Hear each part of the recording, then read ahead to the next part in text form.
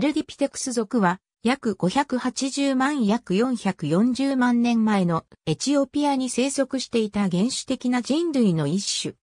長らく最古の人類とされてきたアウストラロピテクス属より一層古い時代の化石人類である。哺乳高齢鳥目ヒト科ヒト赤に分類される、ヒト属ヒトア族中の一族であり、アルディピテクスラミドゥスとアルディピテクスカダッパの2種からなる。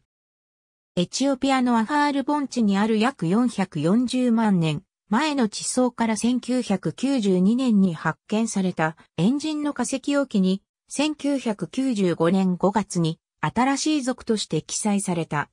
族名アーデピシカスはアファール語のアーディと古代ギリシア語、パイシータイータカッパのラテン語形による合成語で、地上のムゴザルとの原義を持つ。種商名ラマダスは、アファール語のラミドをラテン語化したもので、原義は根のものである。この中からは、人類進化の系統樹状の根の部分にあたるものとの命名意図が読み取れる。もう一つの種商名ケイダバは、アファール語で、ベーサルファミリーアンセスター、一族中の祖先を意味している。まさにその名が示す通り、彼らは模式種である前者より古い。あるでも参照ラミドスエンジンとも言う。約440万年前のエチオピアに生息していた。1992年12月、東京大学の諏訪本がエチオピアのアファール盆地の一角、アワッシュ川中流域に属する約440万年前の地層からラミドゥスエンジンの上学部球種の化石を発見した。東京大学、カリフォルニア大学及びエチオピアのリフトバレー研究所からなる国際チームは翌年末までに熾烈、顎骨片、腕の骨、後頭部などの化石17点を発見した。この化石はそれまで知られていたエンジンよりも明らかに原始的な構造を示しており、学術雑誌、ネイチャー史上にて1994年、オーストラロピテクスラマダスとして発表された。翌年には、新しい属名、アーデピシカスが設けられ、本種は二名法によって、アーデピシカスラマダスと改名されている。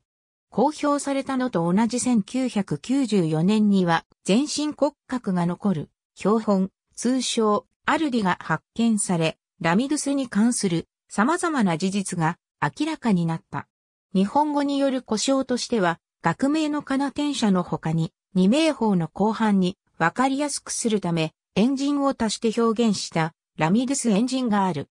なお、学名部分の語尾アスのみ、部分的に英語発音に由来させ、アスと読み、アルディピテクスラミダス、ラミダスエンジンと称する場合もある。以降のエンジンとは異なる形質としては、足の指が手の指のように物をつかめる構造になっているのが主たる特徴である。一方で手の構造は、チンパンジーやゴリラのように歩行時に地面に指の背をつけて使用していた形跡が認められず、直立二足歩行を行うことができていた。葉の構造から見て、硬いサバンナ系の植物などを口にするようには適応しておらず剣士は小さく退化している。生息環境はジャングルとサバンナのような地形が入り混じっていたと推測されている。カダバエンジンとも言う。約580万約520万年前のエチオピアに生息。